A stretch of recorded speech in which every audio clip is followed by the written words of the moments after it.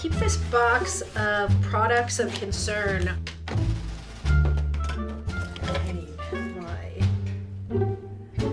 Sometimes the labels are so small it helps to have a magnifying glass present. Restore beautiful length, smoothing balm. See, these are impossible. You can never see what's in here. Oh, herbal essence. So this is this is this is a personal favorite. Think I used to use this back when I was in high school with passion flower, heather, and bay laurel in mountain spring water. Let's hope this is just as good as it sounds. Ah, acrylamide.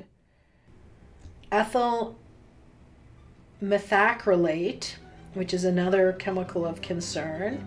It's interesting because it's usually found in nail polish. Lead is probably holds the gold standard for being one of the most toxic chemicals on the planet. Um, just a horrible neurotoxin, causes brain damage, accumulates in your body. Once it's there, it stays forever. Bad news. The label of fragrance can hide dozens of secret toxic chemicals. All these products always have propylene glycol, which is antifreeze and not everyone wants antifreeze in their um, cosmetic products. This is funny because this one sounds like so healthy. Eucalyptus, oatmeal extract, citrus, orange peel, DMDM hydantoin, uh, formaldehyde releasing chemical. It's a human carcinogen. So, you know, some good, but not all.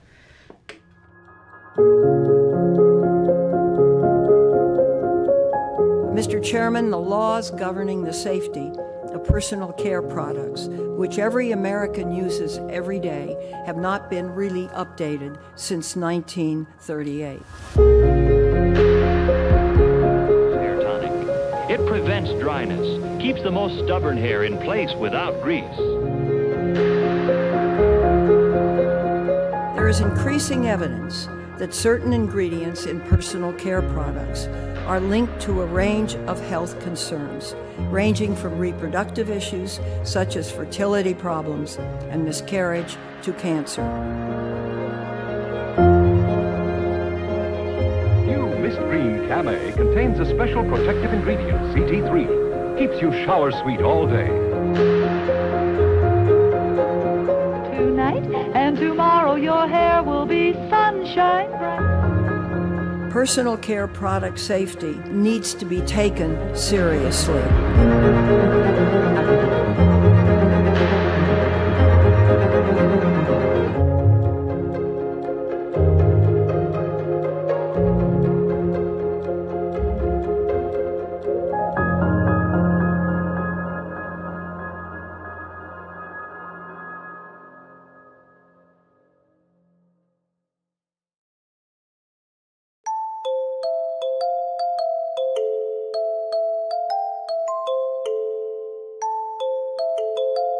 Soap is probably one of the oldest formulations, oldest chemical reactions known to humankind.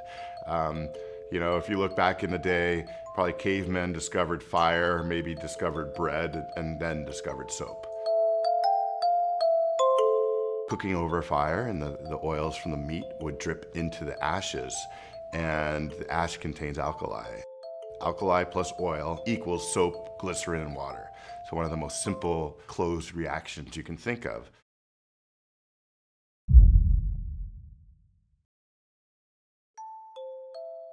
In the Nablus region of Palestine, they made soaps, they still make them today, out of vegetable oils.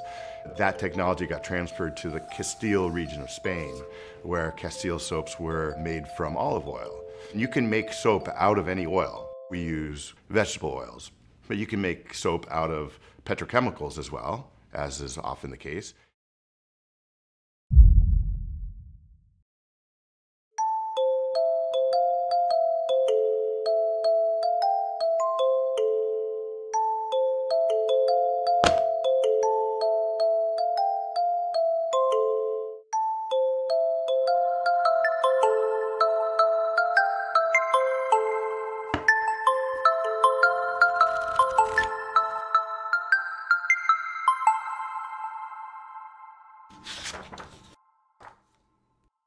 Food, Drug, and Cosmetics Act gives the FDA its authority for the regulation of cosmetics.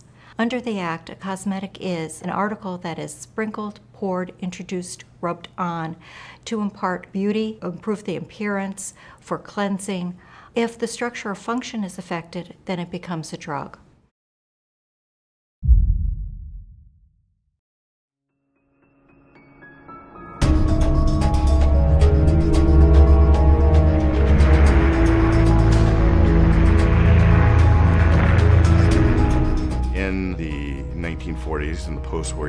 You had companies all over America basically trying to use some of the efficiencies they had learned in the war with all the chemical advancement that had been made and kind of apply those to peaceful times.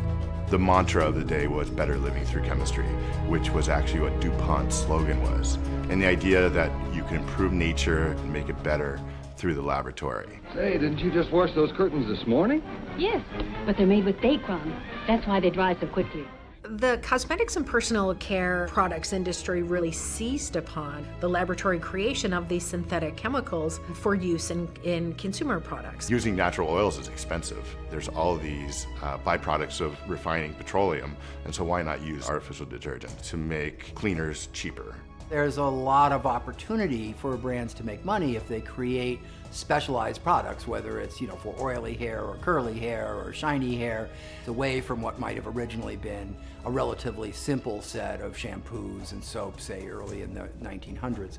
Companies would test various chemicals to see if they had a benefit, if they made the moisturizer smoother, uh, did it wash off easily, all those kinds of efficacy questions were at the forefront of the development of this industry. Two, because every girl who's been using drying soaps or greasy creams to clean her face should certainly know about remove the deep pore dirt and makeup soaps and creams leave behind. That introduction of new chemicals has not always been well supervised. The companies were only testing the chemicals themselves for short term adverse health effects eye irritation or rashes. They weren't looking at the long term adverse health effects related to those chemicals. Because Dial contains hexachlorophene, there's nothing else as good. Fresh clearness of your skin is continuously protected.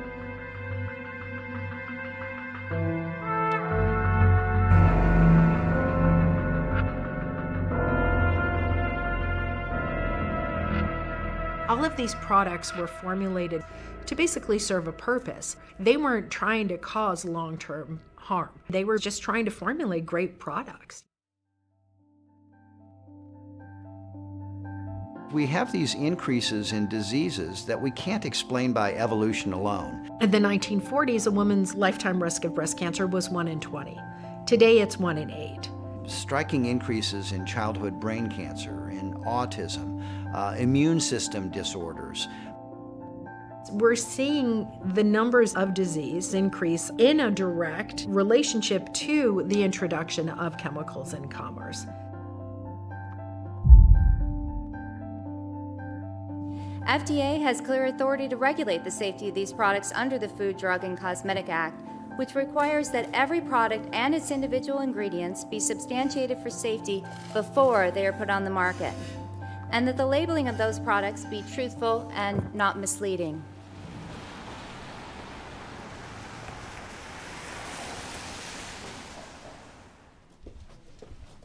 I'm the director for the Office of Cosmetics and Colors at the Food and Drug Administration. My office is responsible for the regulation of cosmetics in the United States. Under the Food, Drug, and Cosmetic Act, the cosmetics that you see in the marketplace, no one has to come to us to show us data beforehand. Manufacturers are supposed to substantiate the safety of their ingredients and products before they go to marketplace. Um, the FDA does not dictate how that gets done. Um, most manufacturers will actually do studies themselves, uh, either clinical types of trials, they may do animal testing, or they may do in vitro studies. What they do and how they do it, really, as long as it's validated, the FDA does not dictate. But again, we do not review that data. Fundamentally, there are no requirements or next to no requirements to bring a, a, personal care product to the marketplace, get it on the shelf in your grocery store or your drugstore. The government has no list of studies that must be performed. Once you've added a bunch of ingredients together to make a product, there's no requirement by the government that you test the final product either.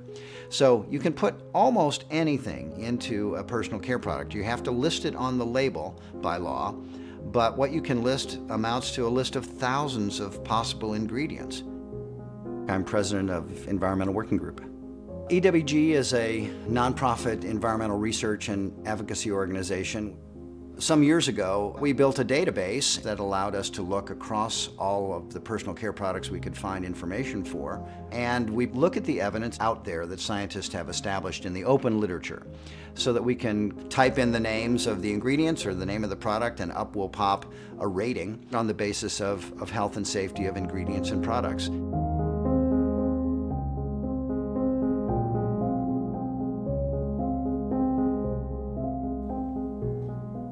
It's important that the labeling be accurate so that consumers will understand how to use the product to be able to use it safely.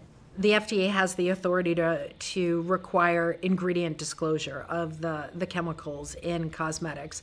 Ingredient disclosure is required, except for the chemicals in fragrance. Um, that is, that's really, that's really about it.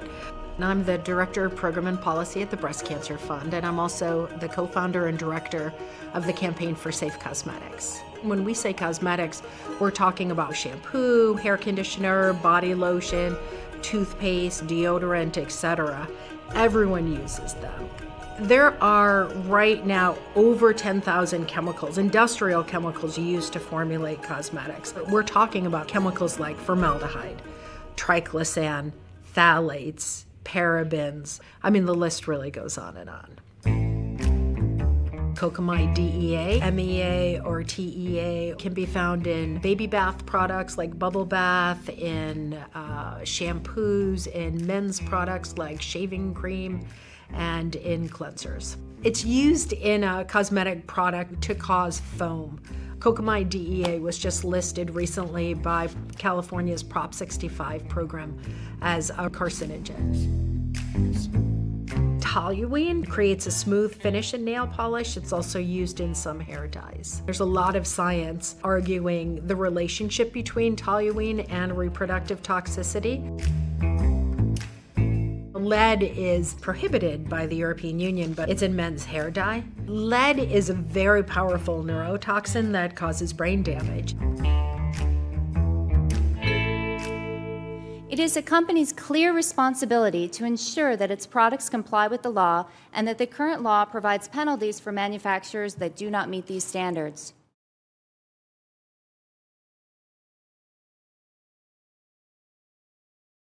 Safety is the top priority for our industry.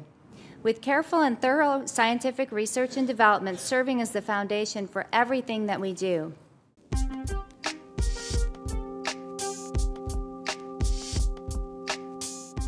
Brazilian Blowout. It's a hair straightening product that was found to contain more than 10% by weight formaldehyde. Formaldehyde is a known human carcinogen.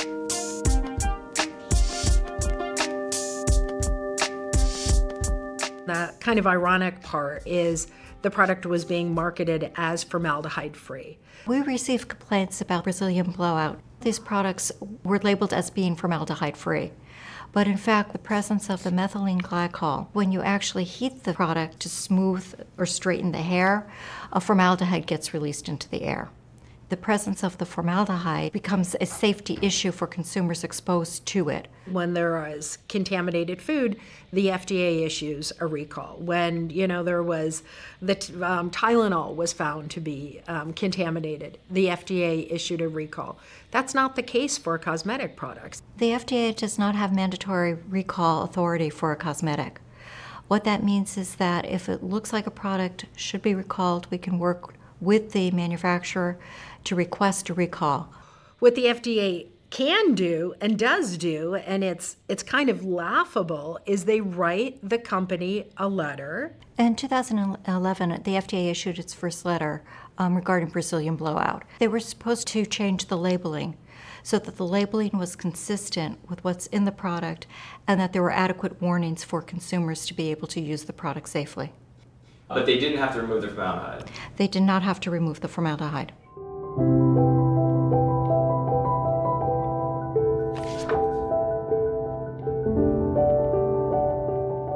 FDA couldn't do anything about the problem. The company was sued by the California Attorney General for misbranding.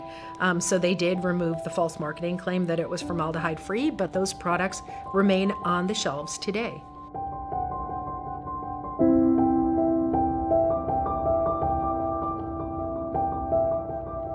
The product does exist on the market, whether or not there are have been changes as a result of the warning letters.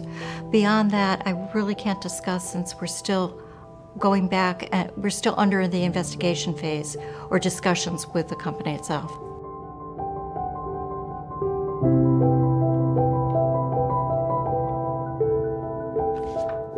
Formaldehyde is widely used in both personal care products and makeup here in the United States. Formaldehyde does exist in other products. It's usually at a lower dose and it's usually in such a way that the exposure is minimal. Typically, there are chemicals added to these products. They're called formaldehyde donors that release formaldehyde to preserve the finished product itself. Bubble bath to shampoo to conditioners to makeup itself. The foundation of a science based safety assessment is that any ingredient has a safe range and an unsafe range, whether it's water, a vitamin, or a newly discovered compound. An ingredient's safe range is defined, is defined through many studies before it can be used in a product. Safety is about choosing ingredients that can be used well within their safe range and avoiding ingredients that cannot. Companies often make the point that the doses we may be exposed to in a personal care product are so low that they hardly matter. And they say, of course, the dose makes the poison, which is a ages old precept in toxicology, and to a degree, it's true. There's several different examples where, you know, there's really no debate that it's a bad actor chemical at issue. There's still a debate about whether there's enough of it there to probably cause serious health risk. That's a difficult and complex thing to figure out, and it becomes ever even more complicated when you think about the number of products that you're exposed to that contain similar chemicals or that contain chemicals that uh, interact with the same biological mechanism that might be important for a disease state. We've done studies where we've looked at teenage girls and tracked what kinds of personal care products they use and then tested their blood afterwards. And we found lots of the breakdown products and actual chemicals from the cosmetics. So we know it gets into their bodies. What we don't know is what health problems might be related to the combinations of chemicals. We live in a, a, chemical stew. The air we breathe, the food we eat, the personal care products put all kinds of chemicals into our bodies. There's no regulatory agency that tests the combination of chemicals that we actually encounter in the real world. We have this chemical mixture that we really don't understand the health consequences of. Cosmetic safety assessments are thorough, addressing numerous health questions, including but not limited to the potential for cancer, reproductive harm, and allergic reactions. It is staggering how many of these chemicals end up being detectable in a large proportion of the human population. I'm talking about 85 or 90% of the US population, with very little understanding of how much their biological systems can take before some kind of adverse health effects happen. I'm a toxicologist by training, and I'm primarily responsible for doing the research that underlies Good Guide. Good Guide was founded by a professor at UC Berkeley who was trying to answer the same kind of questions that most consumers are. Is it okay to put this shampoo on his young kids? And realized it took basically a doctoral dissertation to figure out, you know, is this product safe or not? The mission of Good Guide since then has basically been to get consumers information about the chemical composition of the products that they're buying, as well as the sort of social and environmental performance of the brands that make those products. Lots of chemicals can cause adverse health effects. Um, in almost all cases, reproductive toxicity, developmental toxicity, neurotoxicity, it does make sense to pay attention to dose makes the poison. You need to be exposed to more than a specific amount for there to re really be a health risk. There are some exceptions to that. The general thinking about carcinogens is that there is no safe level of exposure. And all it would take would be a single molecular interaction to uh, potentially uh, flip a switch in a cell, causing cancer either in animals or in humans.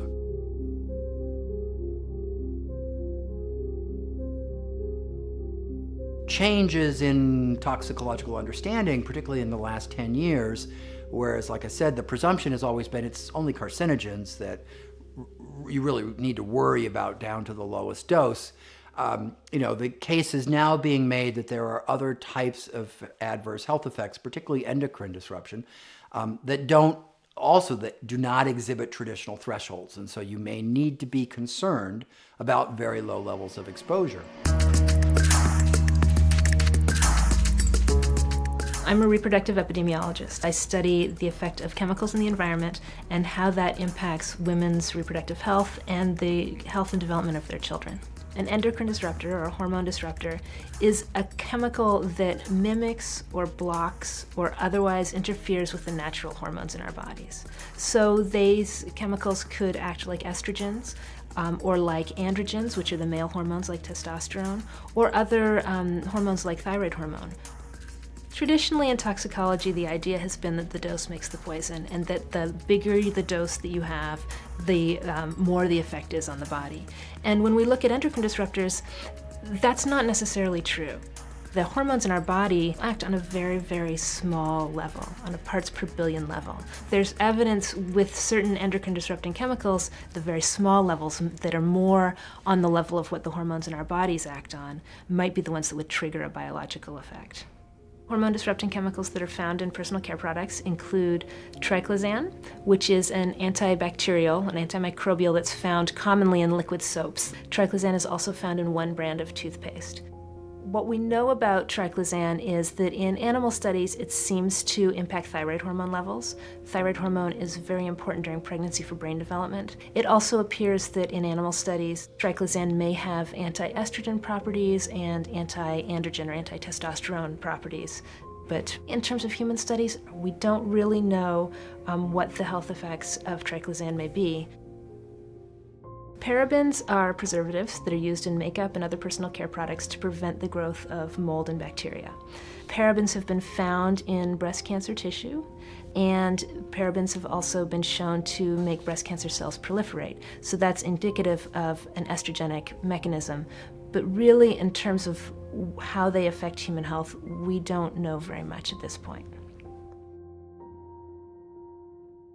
Phthalates are the chemical that's in personal care products that we know the most about in terms of the endocrine disruptors. Phthalates can be found in plastics, um, but they also can be found in fragrances and nail polish. Fragrance is used in, in many, many different personal care products, so it's not just your cologne or your perfume. Um, it can be, they can be used in, in soaps and shampoos and conditioners. Phthalates are a demonstrated anti-androgen, meaning that they block the effects of testosterone and other male hormones. They they also appear to have weak estrogenic effects. So you're seeing a blocking of testosterone and also a, a mimicking of estrogen. We're seeing in the human research now associations with greater risk of obesity, greater risk of allergies and asthma, and um, neurodevelopmental problems and behavioral problems associated with early life phthalate exposure. In 2014, we published a study showing associations between levels of phthalates in children's bodies and suggestive associations with um, combinations of, of learning disabilities and, and ADHD type behaviors. There have been several other studies also that have now shown associated with later behavior problems and later cognitive problems, aggression and inattention and decrements in mental development. There's some human studies with mother's exposure during pregnancy that show reproductive birth defects, cryptorchidism, which is undescended testes, and hypospadia, which is a misplaced opening of the urethra. There's also a way to just sort of look at um, hormone exposure in utero um, just by different measurements in the genital area that indicate a more feminized or more masculinized um, in utero environment. So those are one of the things that's been shown in studies. In adult men, there are studies looking at how long it takes for a man's partner to become pregnant and what the, the man's sperm count and sperm quality is like. One of the things that we're seeing around the world is sperm counts seem to be decreasing, testicular cancer seems to be increasing, and the incidence of these birth defects, cryptorchidism, which is undescended testes, and hypospadia, which is a misplaced opening of the urethra, seem to be increasing sort of around the world in North America and Europe and other countries. Whether these uh, trends can be attributed to chemical exposure or to endocrine disruptor exposure or to chemicals in our personal care products, you know, that's that's a pretty open question. But I think there are real reasons to be concerned um, and to think that maybe exposure to estrogenic chemicals might be something that we would like to try to reduce or minimize. The thing about phthalates is that phthalates are not listed on the ingredient list. Often on the ingredient list it'll say uh, parfum or fragrance. Often those fragrances contain phthalates, but as a consumer looking at the label, you don't know. The Fair Packaging and Labeling Act um, allows the manufacturer to list fragrance or flavor by itself. That if this is a trade secret or proprietary information, by simply saying fragrance or flavor, that's sufficient. If uh, phthalates are part of the fragrance or flavor, they do not need to be listed separately. We don't know what chemicals are going into products uh, to make them smell the way that they do. Until we know what those chemicals are, we can't start to figure out what the potential health effects are. There's very little information out there in the consumer marketplace about what's in the fragrance of any given product. The International Fragrance Association, they produce this list of like, you know, 3,000 uh, fragrance constituents, and it looks awful. There's some things on there that don't have health problems, but there's a lot of things in there that, that throw hazard signals. Phthalates have been the ones that have gotten the most attention, um, but there are other chemicals in fragrance, like the synthetic musks, for example, that have been even less studied. The reality is, any fragrance house can reverse engineer the fragrance chemicals in another fragrance house's fragrance. So the only people kept in the dark, really, as to the chemicals that make up fragrance are consumers and the regulators themselves. For the Hermosa study, we looked at four chemicals, four endocrine disrupting chemicals that we knew we could measure in the body, that we know are in personal care products that we were concerned about. We wanted to find out how teenage girls are exposed to the chemicals that are in personal care products and in makeup. We gave them some alternate products, low chemical, alternative, more green personal care products. And what we found was that after using lower chemical products, girls could lower their levels of these chemicals by between 25 and 45 percent. And that was just with three days of changed behavior.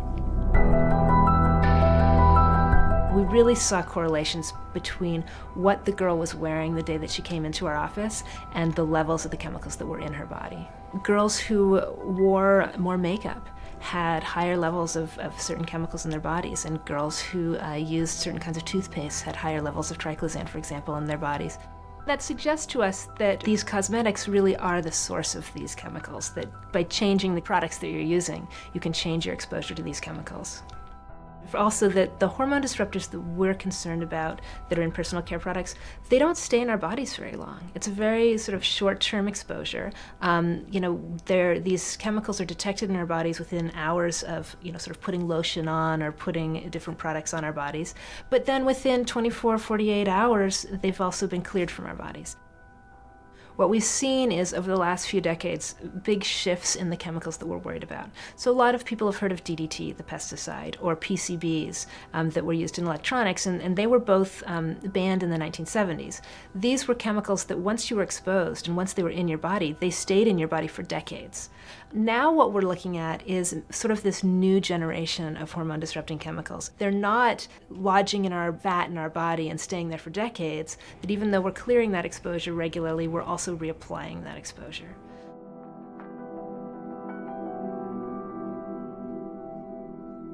Sarah does her makeup really fast. yeah, I got a system. She's quick. She knows. Um, I put mascara on. I use both of these.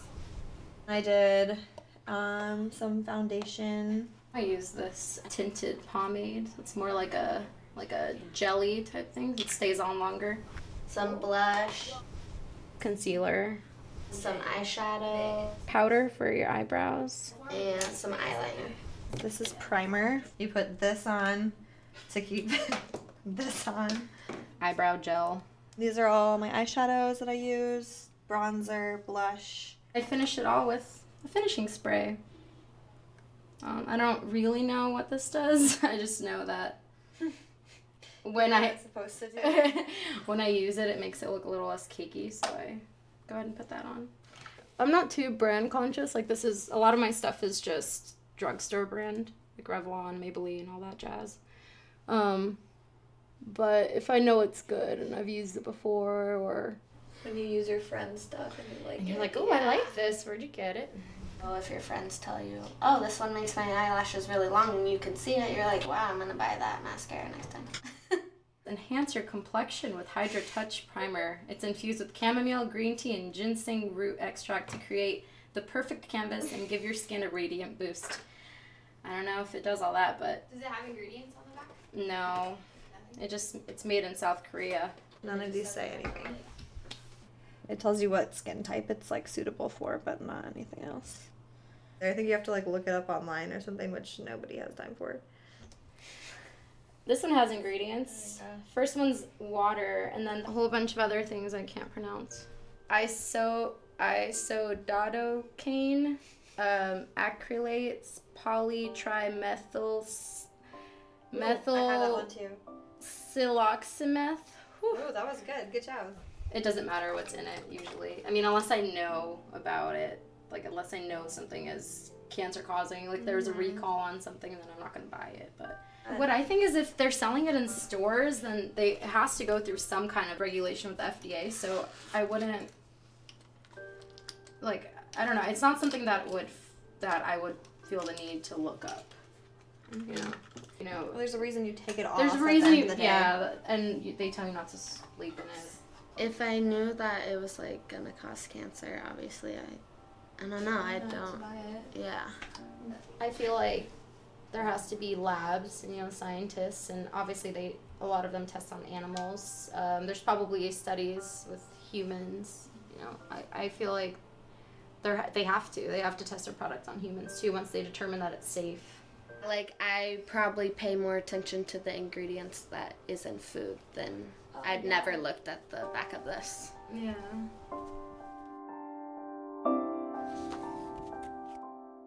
when the EU adopted the cosmetic standard that's in place today. Other world governments started to take note as well. Canada instituted what they call the Canadian Hot List. Japan started to get into the act and more strictly regulate cosmetic safety.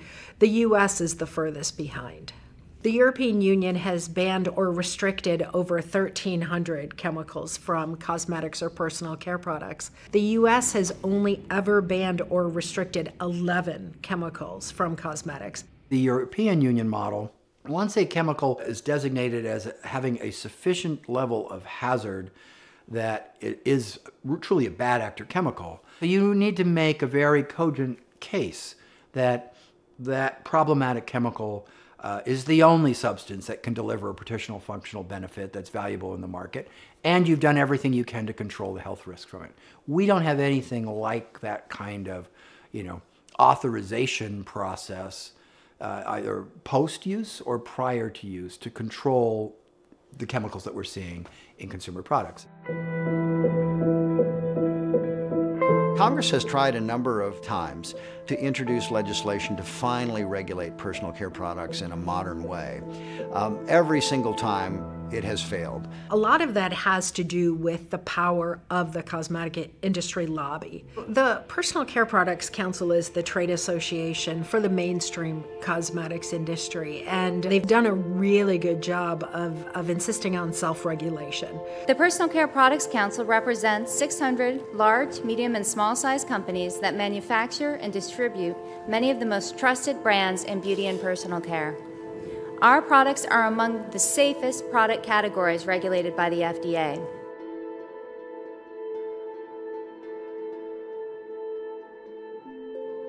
The trade association itself, the Personal Care Products Council, is incredibly powerful.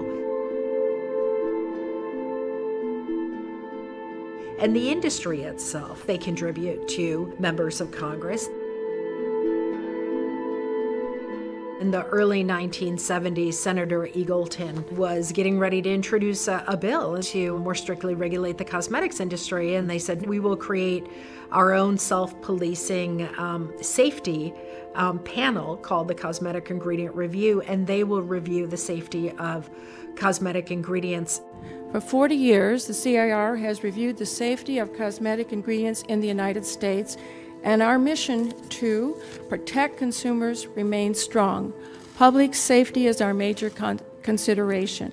The cosmetic ingredient review system is uh, funded by the cosmetic industry. The scientists who do the reviews are hired by the industry. And the organization itself is based inside the trade association for the cosmetics industry. As of June 2015, the CIR expert panel has reviewed more than 4,000 cosmetic ingredients, classifying them as follows safe as use, safe with certain use restrictions, unsafe for use in cosmetics, or insufficient data available to assess safety of use in cosmetics. Approximately 95% of the ingredients reviewed were considered safe as used or safe with use restrictions. A portion of those ingredients were not deemed safe until additional data was provided. Less than one half of 1% were considered unsafe for use. The Personal Care Products Council will bring out their own scientists or their own science to try to argue the safety of a cosmetic chemical when authoritative scientific bodies from around the world say that it's not safe. And then the policymakers get confused and throw up their hands and say, you know, we don't want to tackle this problem if there's if there's disagreement around the science. Even if they wanted to, the FDA couldn't require stricter regulation of cosmetics and personal care products. That needs to happen through the passage of federal legislation. Senator Feinstein introduced a bill called the Personal Care Product Safety Act of 2015.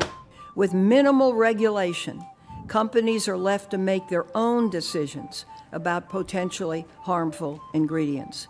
It requires the FDA to assess the safety of at least a minimum of five cosmetic chemicals a year.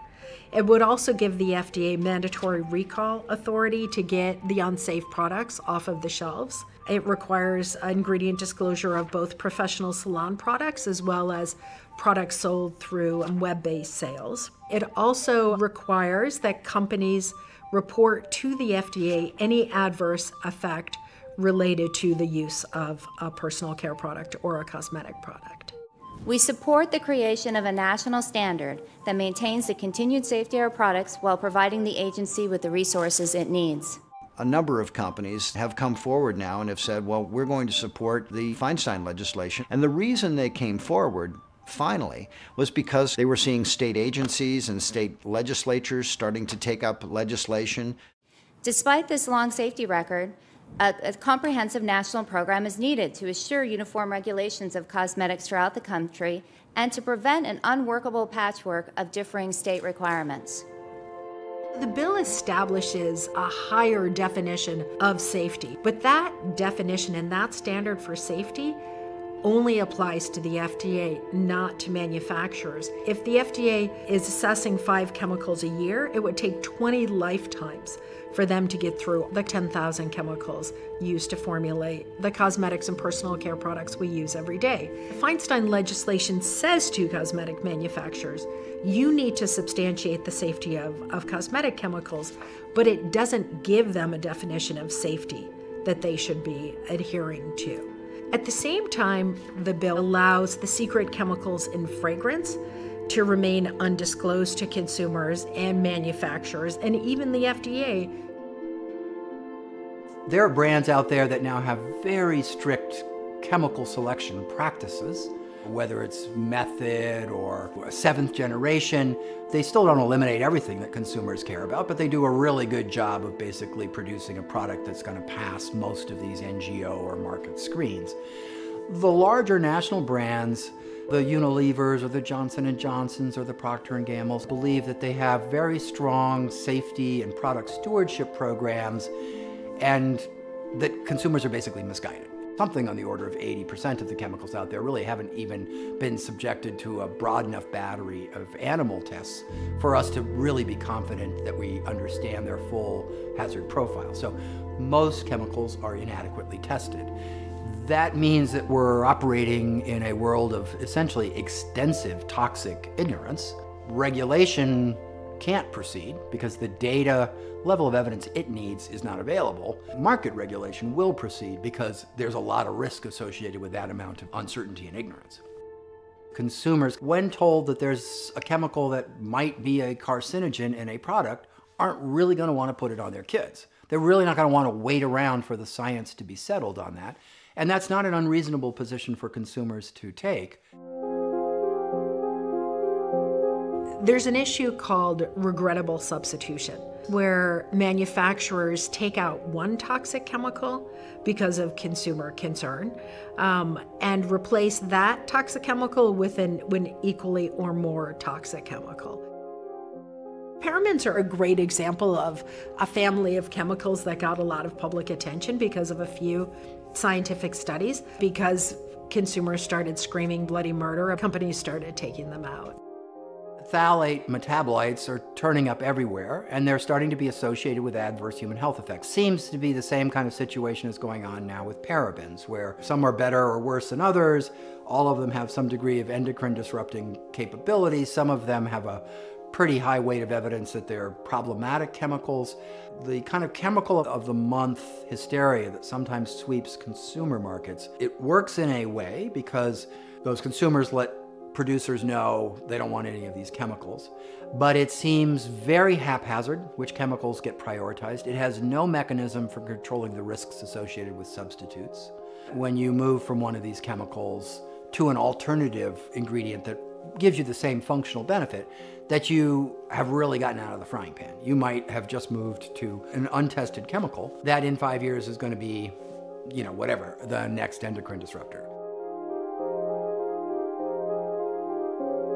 I'm an assistant professor of environmental occupational health at George Washington University. My research is focused on understanding the public health consequences of industrial chemical use through examination of population health studies. Phthalates are one source of industrial chemicals widely used in consumer products. Phthalates are a class of chemicals and within that class, there are high molecular weight phthalates, commonly used as plasticizers. Low molecular phthalates, such as DEP and DBP, are more commonly found in personal care products in 2009, based on CDC NHANES data. We analyzed phthalate data on over 10,000 Americans over a 10 year period during the study period. DBP decreased over time. But we found parallel increases in DIBP, DBP, or dibutyl phthalate, and DIBP, or diisobutyl phthalate. They're structurally similar to each other.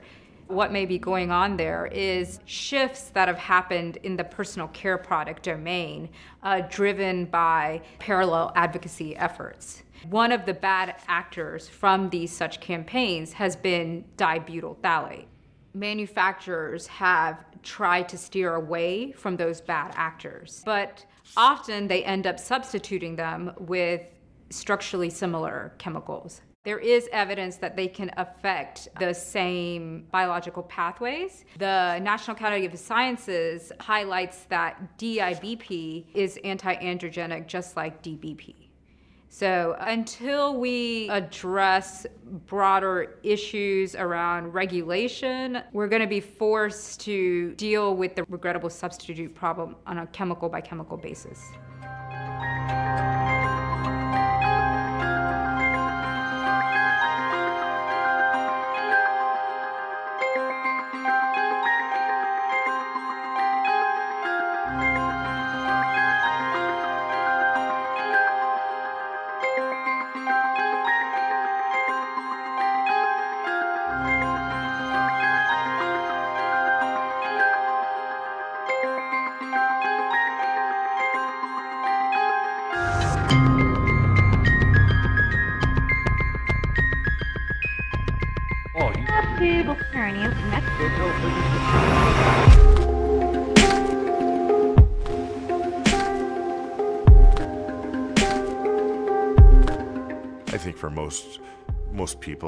Living today, I mean, soap is anything that cleans you. Many consumers have certain expectations that their liquid soap should be this thick, goopy, neon pink stuff. Soap is a funny commodity. There are very few of them that are currently made anymore. Products such as soap bars or beauty bars that we think about and we see fairly frequently, those are really not true soaps because they're actually made from synthetic material. Under the Act itself, when a cosmetic is defined, soap is excluded. To be a true soap, the non-volatile portion of the matter is made up of the alkaline metal salt of a fatty acid. Dr. Bronner has a family soap making business since 1948, but we've been making soap for five generations going back to 1858. Quality soap making uh, comes down to the choice of what kind of oils you use and what combination. We use coconut oil, olive oil, hemp and jojoba oils. We use, of course, alkali to turn those oils into soap. The glycerin from the oils is left in. Fragrance, essential oils like peppermint oil. Add some vitamin E to keep it from going rancid. Uh, a little bit of citric acid to make sure you have the mildest soap possible. The best preservative for our soaps is the soap itself. Because we can make a soap that is 39% concentrated, it's essentially self-preserving. If you use our products over the course of a month, you might get a little soap scum. That's a, that's the residue from the soap that you know doesn't stick to your body or anything, but you know can can stick to the surface of your drains. Number two, natural soaps are not tear-free. It's just kind of the nature of soaps, and if you get some in your eye, it's going to sting a little bit. Obviously, chemistry can make certain improvements to certain functions. Certain chemicals can solve one problem, but they can create another. Like no tear formulas, I mean, they use more rigorous chemistry with more byproducts uh, involved that uh, can make a product that doesn't irritate the eyes. Now, you, you know, you get the compromise, right? Okay, it doesn't irritate the eyes, but at the same time, you know, what's it putting in your babies? Ready?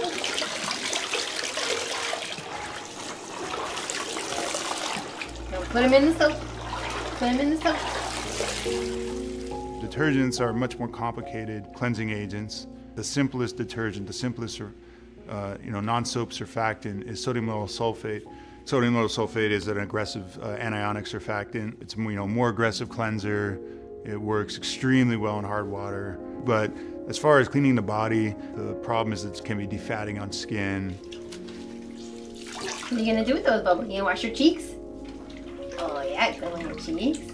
I mean, all the function in the world that that using chemicals buys you pales in comparison to the f- number one reason people use these chemicals. They're dirt cheap. It's very easy to use just a little bit of detergent, and then you use what's called a viscosity builder to make it all nice and thick. And you can get away with, you know, using cheap amount of detergent and kind of make it look like it's concentrated by thickening it up. Even in minute amounts, your skin absorbs. So it is one thing to take a shower and be like, wow, that, that was great, no residue, and that had a lot of bubbles. But you're not just using one product. Gonna put some on mommy? Thank you.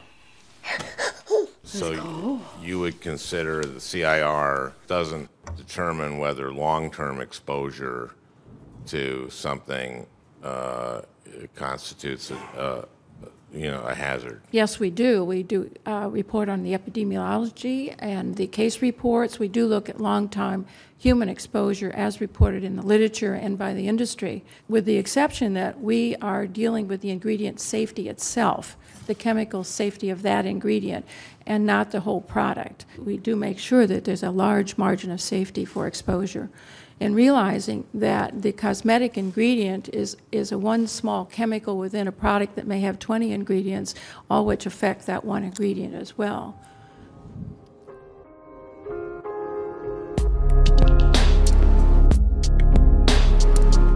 The field of public health is really good at studying one exposure and its effects on one health outcome. However, we're just beginning to really understand how to study the health effects of chemical mixtures or the chemical soup. Personal care products are an important route of exposure. It's one that people have control over, but I think it's really important to realize you're exposed to chemicals in multiple ways. Some of these other pathways can be really substantial and are even harder to control. To really reduce these exposures, it's going to take broader changes at the policy level. We need a safety system that cracks down on chemical use in a safer and safer direction instead of what we've been doing now. You take the decision making out of the hands of the individual brand formulators, basically a set of qualified materials, which are, you know, only these materials are going to be how you get foam, because all of them don't come with any of this, you know, adverse health overhead or risk overhead. The good news is there are choices that you can make that can significantly lower the number of exposures you have to hazardous ingredients. You can brush your teeth, you can wear deodorant, you can, you can feel good about yourself uh, without having to give up these products altogether. You can use cleaner ones.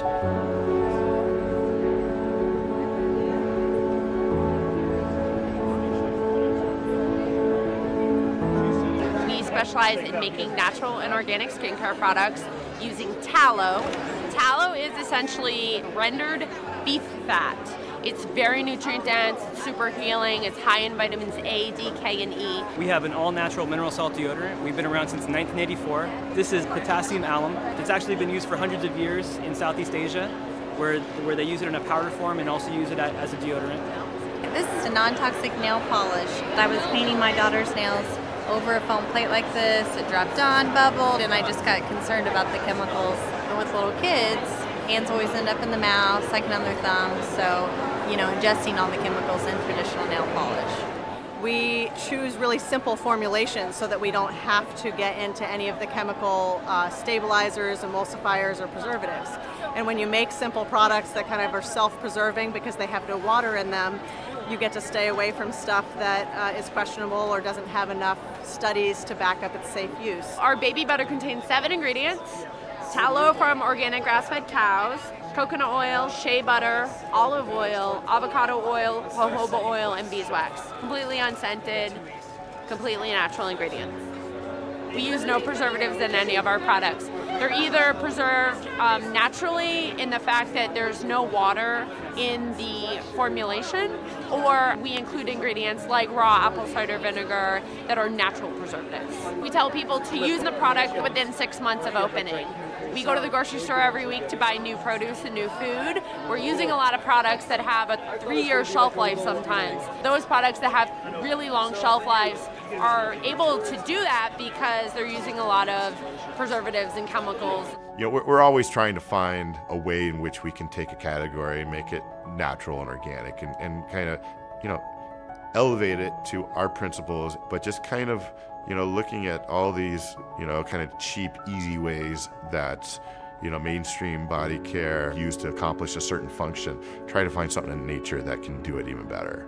You know, with toothpaste, it meant coconut flour, and that gives mild, fine grit that's good for polishing the teeth. I buy fragrance free products because fragrance uh, doesn't have any utility, so it's not making your product better. All of our products are only fragranced with organic essential oils. It's a little bit more expensive than the fragrance oils that you can find, but it comes directly from the plant. That's just, to us, seems like the obvious choice. If you want a wonderful fragrance, you go to the plant. The less number of products that you can use is probably better because, right, you know, just think back to that chemical soup effect. Look at the products you have in your medicine cabinet or in your shower and ask, do I really need this product? In cases where you can do without a product or just go back to basic soap, we certainly recommend it. You know, sunscreen is one where we have taken kind of uh, an organic balm, which is just oils and waxes, and added the natural mineral zinc oxide in it to make a really safe and simple sunscreen without having to get into any of the chemicals that you find in other sunscreen products. There's a spectrum of adverse health effects associated with these exposures, and even if you go down to the allergic reactions or skin sensitization reactions, even those kind of low level impacts uh, are rarely outweighed by the benefits of a product, right? We are really talking about, you know, the quality, you know, whether, whether the shampoo is foamy or not.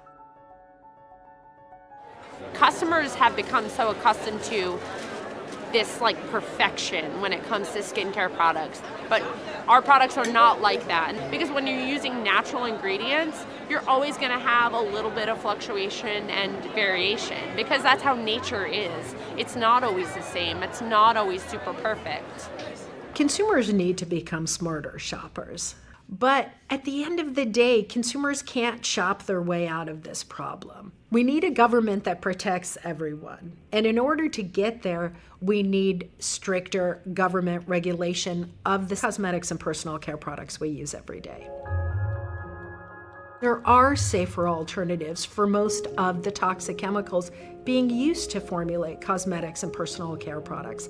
Like if we can take a precautionary approach if if we can replace a toxic chemical with a safer alternative, why wouldn't we? One of our first products was our Stank Stop natural deodorant. It's a cream-based deodorant, so it comes in a pot and you're gonna put on your finger and you just rub it into your armpit. Not weird at all. It's not full of a bunch of weird toxic chemicals. Coconut oil, arrowroot powder, shea butter, tallow from organic grass-fed cows, baking soda, non-nano zinc oxide, beeswax, cypress essential oil, scotch pine essential oil, and coriander essential oil. We like to know that customers can pick up a jar and turn it around and know everything that they're putting onto their body and feel really comfortable and confident about it. I was definitely a secret girl before I started making my own stuff. Um, it worked, but who knows what it was doing to my body. I think it's great that somebody could take this and recreate it in their kitchen. I mean, if you have the time and have the energy to make your own products, I think that's awesome. No one should be forced to use chemicals on their skin every day. These products should be available to everyone.